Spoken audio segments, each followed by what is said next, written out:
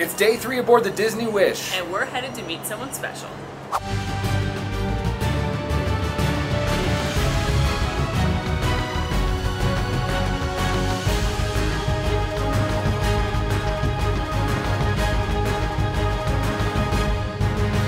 It's Nassau Day on the Disney Wish, and once again, we are not getting off the boat because we have a royal engagement this morning. Also on the docket for today, we're going to check out the Rainforest Room. So excited about that. Maybe get a little pool time, some more cocktails, tasty food, including dinner at Palo, which we've never been to on the Wish, and it's different here. Super excited about that too. We got a lot to do, but uh, we can't be late for royalty. We can't, we can't. We gotta That'd go. be so embarrassing. It would, Who are we? Alice? let's go. The rabbit? The rabbit. Yeah, yeah, technically it's technically rabbit. Yeah, okay. We gotta go. We are headed to our royal gathering in the Grand Hall. This is a really fun character experience with multiple of the princesses, typically three, and you don't know who is going to be there till you get there. What's unique about this versus the other normal character meet and greets on the ship is that this one you have to reserve in advance. It doesn't cost you anything, but there is a capacity for how many guests can do it. You can sign up 30 days prior to your ship setting sail, Big shout out to Kim at Be Our Guest Vacations, our travel agent who booked this trip for us, because she got up at midnight to do it for us, and I awoke to an email that said, Hey, you're booked for the Royal Gathering. I've never done this before. I've never been able to book it, or I've always forgotten to book it. Uh, but it looks like it's Rapunzel, Cinderella, Belle, ooh, Moana. Uh, for uh, the greeting before ours, so we'll see if they remain out for ours. Yesterday when they were doing it, I saw like the royal callers come out and do a little show too. So who knows what's gonna happen? Not me, uh, except for I do know we're gonna talk to the princesses. Alan, who's your favorite princess? Probably a tie between Belle and Tiana. Two great choices. What about you? I, growing up, always loved Belle and Mulan, and now as an adult, I think Mulan is the winner. Mulan is awesome. She's just she saves China. What should we ask them? I mean, any number of things. How's their sailing? Are they in ask the them? royal suite? Can we ask them their favorite food on the on the cruise ship? Sure. I want to know who likes chicken tenders. I mean, the royals are truly like us if they enjoy the tendies. Is it Moana? Is it Hey Hey? Go. Oh, no.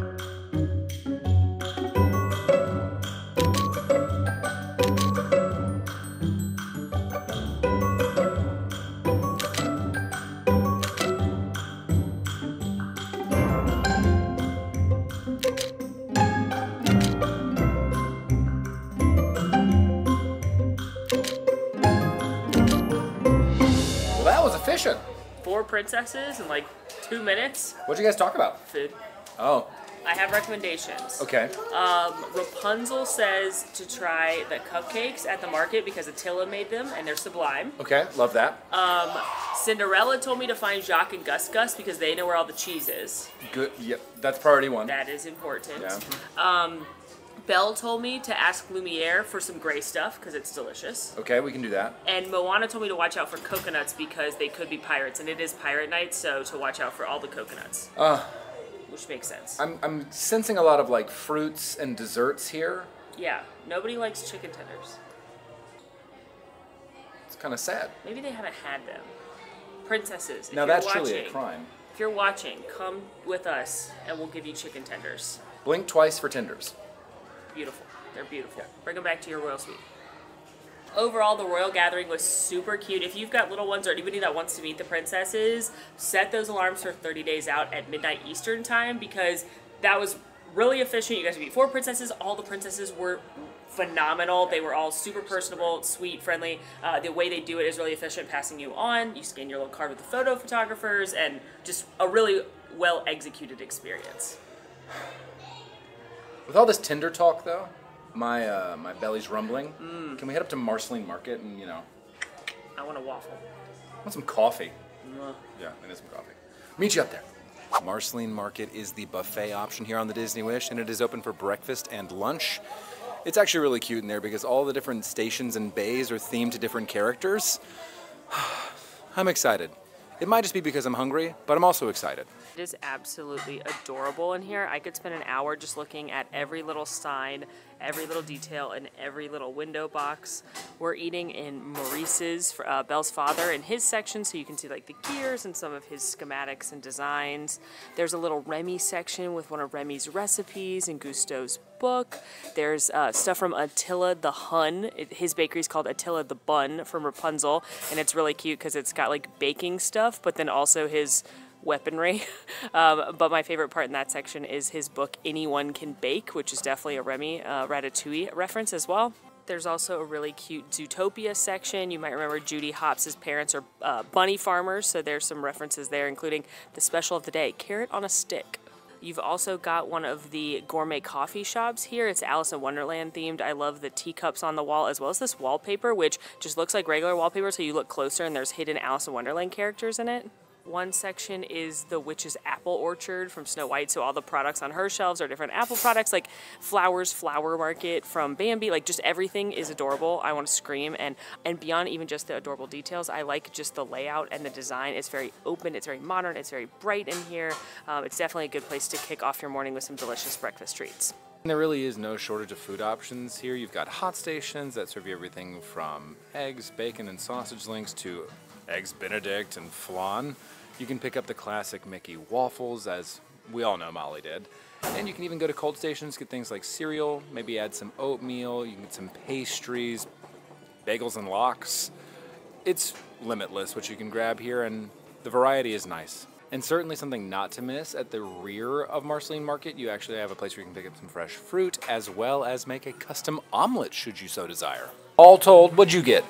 I got a Mickey waffle off the kids' corner because anyone can order from the kids' corner um, with some strawberries and syrup. I also got what they called a flan, I would call like a quiche. They had a couple different varieties of these. This is a sausage and cheddar, a little strawberry smoothie, as well as some fresh fruit, and of course, coffee. And me, myself, and I, I picked up Raisin Bran because I actually am a weirdo who likes that cereal. Embrace your elderly tendencies. My elderly tendencies. Older, old people like Raisin Bran mm. and Alan. Mm-hmm. Uh, for the old and old at heart. Uh, so we have, I picked up a yogurt parfait as well with granola and fruit. I also picked up a quiche, a sausage link, and coffee. Now this might just be round one on my end, but it's a good place to start. And fun to point out, there are several drink stations around. One thing that does make Disney Cruise Line unique from some other cruise lines is that soda is included um, with your cost. So we're right by a beverage station. You've got different varieties of juices, sodas, teas, coffee. Um, and as a pro tip, you can always bring a big cup if you want to refill your soda or something to take out to the pool deck. But they have more, they have more bars out there. But. Want to see something adorable I just saw? So behind, no, no, no. so so behind you, the chandeliers are pots in reference to Mrs. Potts. That's cuter than me. I didn't say that. and does not involve our guests. Oh, Attention assembly stations, you know what? Golf This is just as Hotel. hot as when we got it. and Zulu 2. Please proceed to your side, life raft Mickey launching area. Thank you. How was your sausage? It's good sauce. Happy to hear it. Whatever this is, flan or quiche, very good. I thought flan was dessert. Like when I think of flan, I don't think of an egg quiche sausage. Is still an egg custard dessert. That's true. We think this in that house. That house. Mm-hmm. The most successful conch fisherman. There's coconut on top of my smoothie. Moana warned me about this. Doesn't seem like it's a pirate though. The main reason I prefer not to get off in Nassau is this right here. Look, we're on the adult pool deck, and there's literally no one in the whirlpool. Is that because you'd have to listen to the same line from the Aquamouse over and over again? Perhaps. But is it because most people get off the boat? More likely.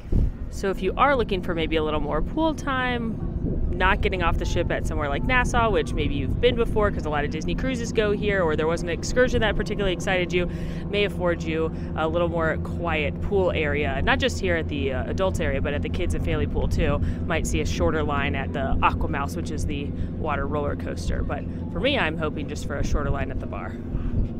We picked up some of the Wish's signature beverages, the Pop Fizzes. Molly got her favorite, the strawberry basil, and I decided to try the cucumber honeydew, which I have to say I'm very much enjoying. But that's probably just because it's a gin and tonic with a cucumber honeydew popsicle in it. Big fan. I'm also a fan of this view. Now, granted, we do have a fantastic view of the Carnival Elation, but I do like looking out over Nassau as well. Uh, and I can't help but be drawn to one of my haunts as a as a younger person, Señor Frogs. Oh my. Oh, the yardsticks we've seen. Do you hear that? What? Uh, it seems like over on the big screen they're playing The Lion King, Uh, and Mufasa just died. Spoiler well, alert. well, And honestly. I, and I, I heard the stampede. I heard him screaming. I heard Uh-huh. "Brother, help me!" And then I just heard, "Dad, get up!" Is it worse hearing it without the visual or Oh, it's bad no matter what. Okay, got it. Cut you deep no matter how many times. Now we are headed to the Senses Spa. This is the adults only spa section of the Disney Cruise Line, and you can book things like massages, facials, and other treatments, or you can do what we've done, which is book the Rainforest Room.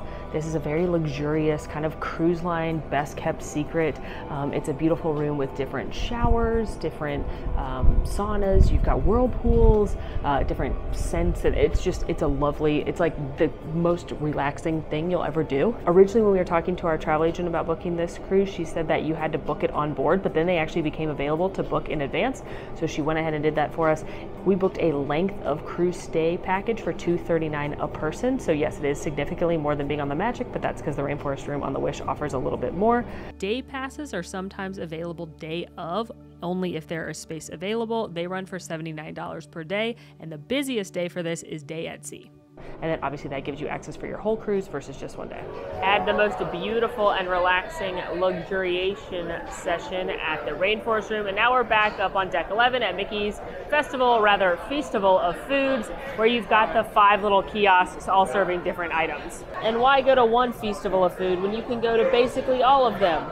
Alan got a burrito and I got a taco from Donald's Cantina. We know those are amazing and they have maintained their freshness and deliciousness.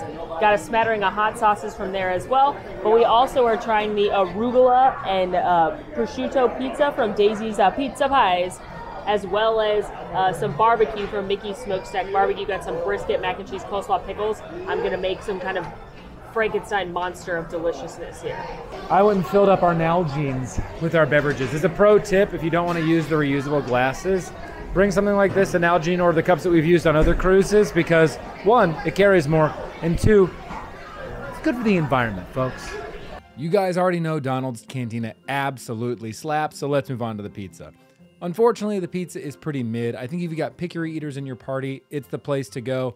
The prosciutto pizza was okay. It was nice to have the prosciutto to add a little bit of saltiness and richness to the pizza, and the arugula added some earthiness, but overall, it was just a mid pizza. And made a little concoction at Mickey's Barbecue, the brisket on the macaroni and cheese with the pickles and the coleslaw and some of the barbecue sauce. Honestly, this is the way to consume Mickey's Smokestack Barbecue. The brisket's not the best I've ever had, but it is smoky and delicious. The mac and cheese is fine on its own, but much better when you add some of the other ingredients. Love the crunch from the pickles and the slaw. Still not my favorite, but pretty good. But the best part, of course, is finishing with some ice creams from Minnie's Sweet Treats. I got blueberry and vanilla, and Alan got mango. Went back to the room, changed and freshened up, and now we are headed to Spas. Just because the Galactic Star Cruiser is closing does not mean the lava business is. Okay. Okay, first of all, now I'm sad again. This is the whole like Mufasa, or, or I'm sorry, Scar tried to kill his brother thing. We got some people we can talk to on the Wish about some lava. True. There is still movement within the lava business. If that wasn't clear, we're going to the Hyperspace Lounge. Star Wars Hyperspace Lounge acts as the Skyline Lounge on the Dream and Fantasy or other Disney ships, where it has a rotating screen that takes you to different locations. But instead of this being on our planet, uh, this is in space. The whole family is welcome here until 9 p.m., but after 9, it does become adults only. You know, it's at times like these where I'm reminded of the Star Cruiser, and I'm very sad. Yeah, it was awesome. I'm sad it's gone. I wish that they had the cocktail menu in here. That'd be a really good addition. Really easy, too. Anyway, I'm just going to keep watching space go Is by. that a race? uh, unclear. The space race? Nailed it. Speaking of the menu, there are a number of cocktails here that represent different regions in the Star Wars universe, or different planets in the Star Wars universe. You have Batuu, Mustafar, Coruscant, the moons of Endor, Tatooine. Lava. Oh yes, Mustafar does have lava. Found it. There's also some very pricey souvenir choices, including a coaxium box, which is 400 credits, but you get this thing. And then there's also a Kyber Crystal uh, cocktail. It's $5,000, but you get a trip to Lucas Farms. So, you know. Yeah, the pros and cons. They also have two beers here that you can't get anywhere else, not even Galaxy's Edge or uh, the theme parks at all. They didn't even have these on the Star Cruiser. There's the Batuan Harvest Brew, which is a an ale with some uh, floral and fruit notes, and then there's also the Mustafarian Black Ale, which is um, oh, it's inspired by the lava planet. Interesting. Our drinks have arrived, and Molly got something from Coruscant, known as the Chancellor, and asked that our wonderful bartender Kirk add a smoke bubble on top for her. I picked up from Tatooine at the Freetown Reserve, and inside you can just barely see peeking out uh, an ice cube of Darth Vader's helmet. So big. Ooh. That's good. Now, Captain Kirk here behind the bar told me that this would be like a sidecar, and it is. It's got the Hennessy flavor. It's got a little bit of a salty flavor almost too, which might have been part of the bubble. It's not super sweet. A couple of these beverages look really sweet, like the one with lava in it looks really sweet, which is why I didn't get that one. Sweet lava. A little bit tart. Can't really taste the alcohol, but it's a good cocktail. This reminds me a little bit of an old fashioned. It feels like the spin on an old fashioned. It's a double oaked whiskey. Um, subtly sweet, not overtly so, but I really enjoy that. The space version of an old fashioned with the Darth Vader helmet. I'm a fan. In a goblet, no less. Was that the Falcon? Yeah. I know space stuff. Now, Alan, the last time we were here, I told you the story of Star Wars, the original trilogy. I I'm- recall. I'm, here today to tell you about the new Star Wars trilogy, um, and everybody loves it. Everybody that is a fan of Star Wars loves this new trilogy so much they think it is just chef's kiss perfection. It, uh, two of the films were directed by the writer of Armageddon, J.J. Abrams. Okay. Start with um, a young girl who I like to call Space Khaleesi. They, they meet up with Indiana Jones and the Big Furry Bear, and they have to save the planet from Indiana Jones's son, Moody Snape.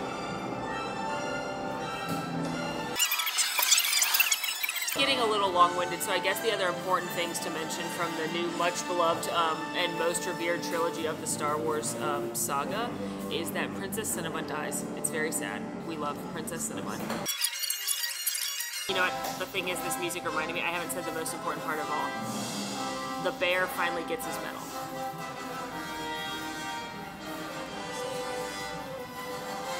Which leads me to my next point about how Star Wars is just a bear story.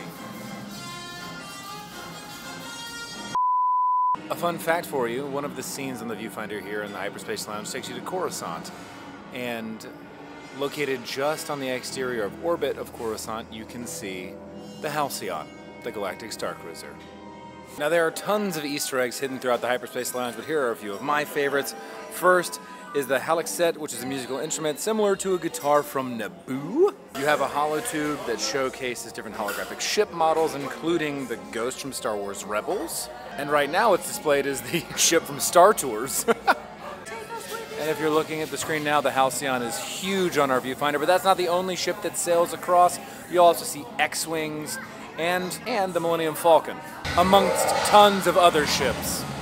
At the back of the bar, you'll find a whole host of decanters that house all of the various liquors and liqueurs from across the galaxy. But by far the most important artifact are these Mustafar lava crystals. What are you, what are you doing? What is what's happening? You can't. We can't take those. No. No. They are. We have legal business dealings. Under the table. Nope. Very. Le- no. You can't. I'll No. be back for that. Okay. No. We won't be back for You that. can't steal it in front of people. We'll be back. We are not going to steal it at all. Right. Don't wink. Allegedly. No. Oh. Well, we had a fun time at the Hyperspace Lounge and strolling about the ship, but for Palo, we gotta get changed. There's a dress code, people. This is not part of it, so uh, see you in a minute. That's better. Yep. Let's go to Palo. Yeah. Well, first, the rose. And then Palo. Yeah. Made it up to deck 12. This is where the adult only dining is. Again, Enchanté, where we went for brunch, and Palo. I just love the artwork coming in here. All three venues up here, Enchanté, Palo, and the Rose, are all loosely Beauty and the Beast themed. In the artwork here, you see some nice drawings of the characters Mrs. Potts and Chip, Madame Wardrobe, looking fabulous. Absolutely love this rose right here made out of book pages and the magic mirror. And then here inside the rose itself, you're gonna see this beautiful, wow, the view is stunning right now with the sun. Uh, but you're gonna see the rose and the filigree and the ironwork. And uh, this is again an adults only space, so you're able to come up here, get some fancier cocktails. They have some nice champagnes. They do one cocktail called the Rose, which is a $50 cocktail. We got it last time, but I think I'm gonna try something new this time. Oh my gosh, even the ceiling is rose. Oh, gorgeous. So, if you're gonna do Palo or Enchanté for dinner, I highly recommend coming up here for a little pre dinner cocktail to set the mood.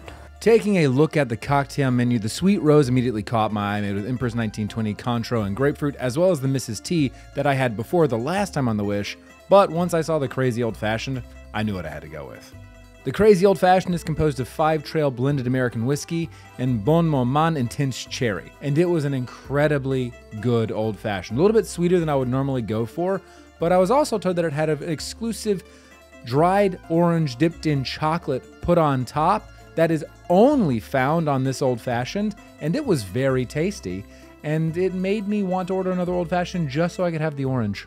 And I went a little off menu. I told the bartender that I was in the mood for a champagne cocktail, but nothing too sweet, so we ended up making one with champagne, tequila, and grapefruit, and it was fantastic. This is my friendly reminder to you that if you don't know what you want to drink, talk to the bartenders, they will be able to custom make you something fantastic. And then it was time for Palo. Palo is the Italian steakhouse aboard the Disney Wish, and the way that Enchanté is loosely themed to Lumiere, Palo is loosely themed to Cogsworth, which you'll see throughout the artwork in the restaurant as well as some of the design will have circles to represent his cogs and gears.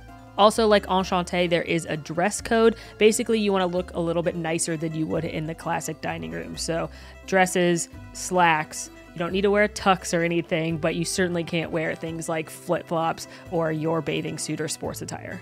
As a pro tip, make sure you book the earlier seating at Palo because then you'll be able to see the sunset and it is stunning. As far as the menu goes, Palo does have a prefix menu that is $80 per person and allows you a more limited menu to select from for your meal.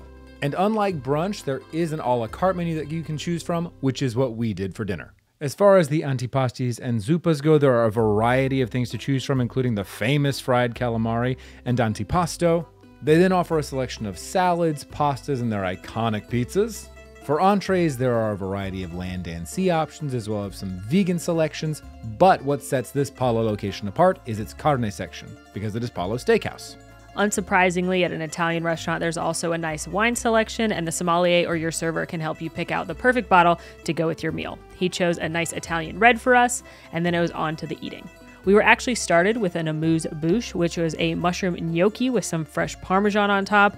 It was delightful. I love mushrooms. I love the earthiness of them. The gnocchi was cooked perfectly, nice and pillowy. That nutty cheese on top. Honestly, if this was an entree, I would order it every single time. The bread service arrived, and it was always tasty because we love carbs in this house, followed by the baby arugula with virgin olive oil, white balsamic, and Parmigiano Reggiano. Is this my favorite thing on the menu? Absolutely not, but it is a darn tasty salad. You can really taste the earthiness of the arugula counterbalanced with the acidity of the white balsamic, and it's very, very nicely balanced, along with a little bit of the bite from the Parmesan cheese. The beauty of this dish is that it is so simple and it allows the individual flavors of all the components to shine through on their own. Now, the only thing that could distract me from the most gorgeous sunset outside was the arrival of a Palo pizza. We went for the Bianca Ricotta that has mushrooms, arugula, and truffle oil. Oh my goodness, we had this aboard the Magic, and it was one of the best pizzas I've ever had, and it was again on the Wish. I don't know how they get the crust so perfectly crispy every time at sea, but they absolutely do with that imported Italian flour. I love the light cheese flavor. It's a white pizza, so it's not super heavy. You've got the earthiness from the mushrooms, a little zest from the arugula, and just enough truffle to make you feel indulgent. Next up was the steak, and we selected the Japanese A5 Wagyu. It should be noted that steaks on their own do not come with sides, those are ordered a la carte, so we picked up the roasted mushrooms as well as the mashed potatoes. There's also a wide sauce selection that can come on the side of your steak, and we picked up the pink peppercorn sauce, the reduced wine truffle sauce, and the gorgonzola cheese sauce on the side. This was my first time ever enjoying a Japanese A5 Wagyu steak, and it was unmatched. It melted in your mouth. The marbling across the meat was exquisite. It was lightly Don't you mean exquisite? no, I mean, I mean exquisite. Exquisite. Still still not right. It was exquisite and lightly seasoned with salt and pepper, a perfect sear. I don't know the right words in the English language to describe how fantastic this steak was. I have to agree. The steak didn't even need any of the sauces. It literally melted. It was absolutely fantastic. Also fantastic though, the mashed potatoes. Simple deliciousness, whipped potatoes with butter and cream and chives. They were a perfect balance to that very rich steak, and those I really enjoyed putting the gorgonzola cream sauce on.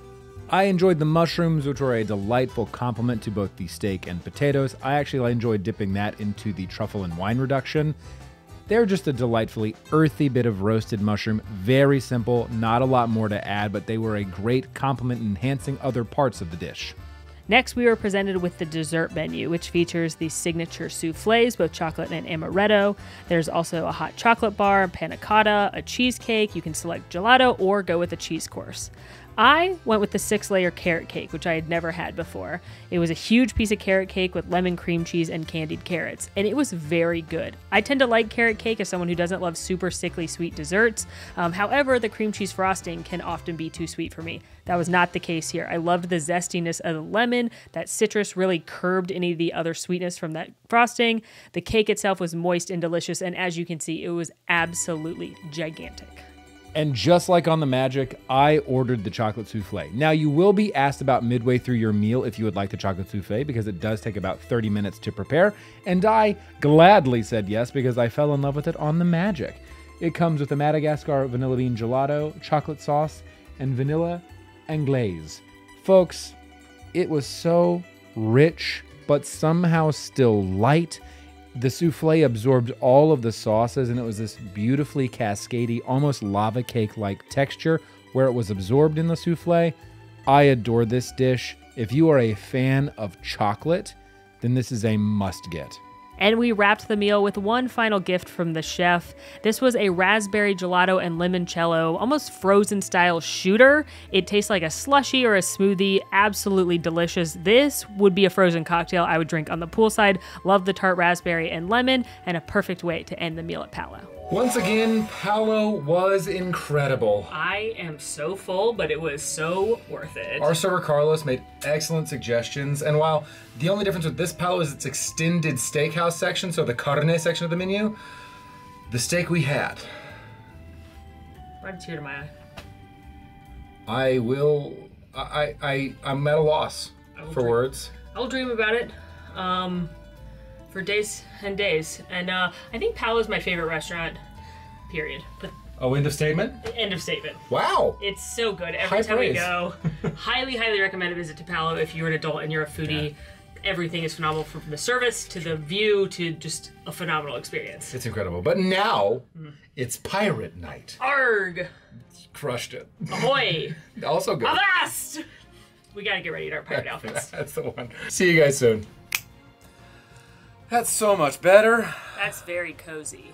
One of these days we're gonna go full pirate costume. Oh, I, if I do that, it's it's Jack Sparrow and I need eyeliner. I will do this for you. But uh, today it's pirate's hoodie and shorts. And for me, it's pink shirt and shorts. You saw this outfit earlier today. No, you didn't. You didn't. Anyway, Pirate Night is a tradition on the Disney Cruise Line. They do a cool show that actually has fireworks at sea. All the characters are dressed up in pirate costumes. And here on the Wish, the beautiful chandelier in the atrium is pirates themed. It's really fun, so we're gonna go have a yo-ho, rootin', tootin', plundering good time. Avast! Cannonball! Boom! Avast! And now we're headed up to decks 11 and 12 for the Pirates Rockin' Parlay Party. This is a really fun rock show with some pirates, and then this is when you have your fireworks at sea. They're amazing because they're to the Pirates of the Caribbean music, and uh, the show varies a little bit on the different ships, but I tend to like the music on this one more. So let's go. Captain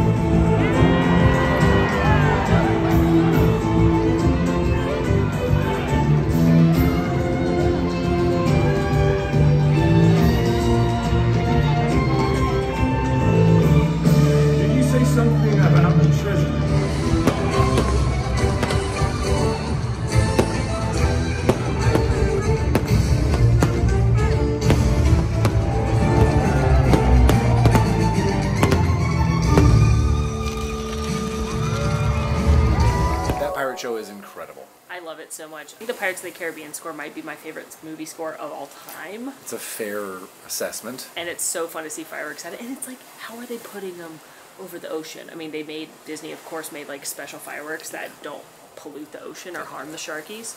Um, but it's just really, really cool and a must see when you're on a Disney cruise. Absolutely. And one thing that I noticed this time is that the band that's out playing throughout the show stays on to play the score that the fireworks are shot off to, which is wild to It's a live Pirates of the Caribbean score. Claudus Belt coming at you.